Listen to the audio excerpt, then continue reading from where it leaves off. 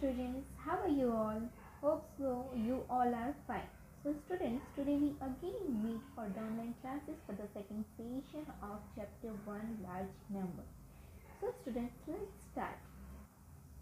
So students, today's topic is place value chart. In first video, you all learn about greatest and the smallest number. So today we are going to learn about place value chart. So what is place value chart? To read and write the large numbers more easily, these place values are separated into groups. This group is called periods.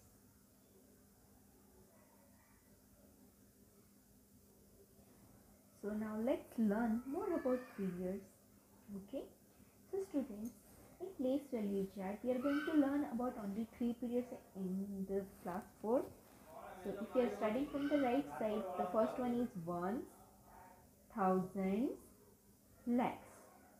So here three periods we are going to learn and each period containing some places. So if you are starting with the ones, ones having three places that is ones, tens and hundreds. Same way thousand period having two places, thousands, ten thousand and the lakhs period is also having two places lakhs and 10 lakhs. So now let's move on to the place value.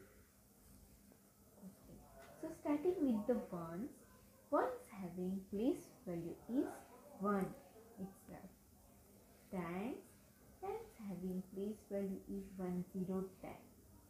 Hundred having 100, hundred, thousand having 1 0 0 0 that is 1000 10000 1 0 0 0 0 lakhs 1 0 0 0 0 0 and 10 lakhs 1 0 0 0 0 0 0 10 lakhs so student if you observe the place value if you move from right side to left side you can observe your 1 and here 1 0 here 1 0 0 so 10 already 1 extra 0 here also 100 already extra 0 so if you move from right to left 1 0 is added.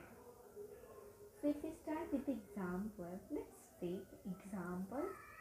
And if you are taking example 3 4 5 2 1 8 7 so students can you read it easily that uh, 34,000 or 3 lakh 45,000 or 34 lakh. So we can't read it easily. For that we have to learn place value. And students, this is very important topic. You have to remember this place value chart. Okay.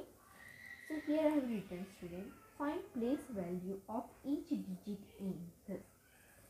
So how we can find place value of any digit? For that you have to first place each and every digit in place value chart.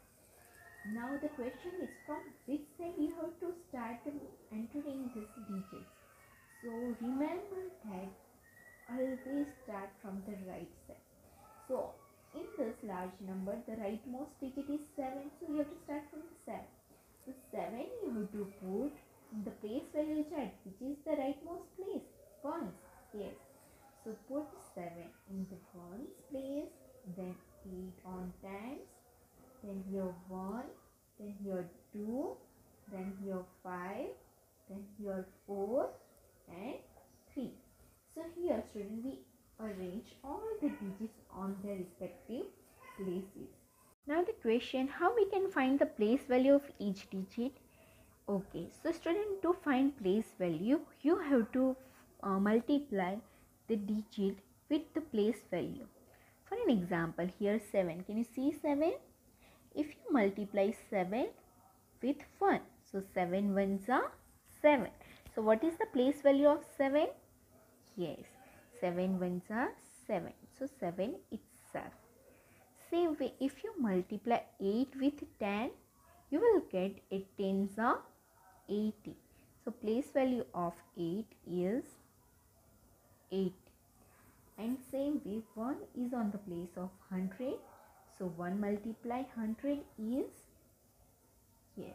So place value of 1 is 100 2 is on the place of 1000 so it is 2 multiply 1000 so 2000 5 5 multiply 10000 so it is 50000 right same way 4 multiply 1 lakh is 4 lakh saying 1 lakh 50 is there.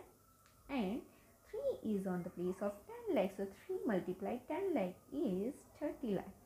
So 3 0 0 0 0 0 0 okay students.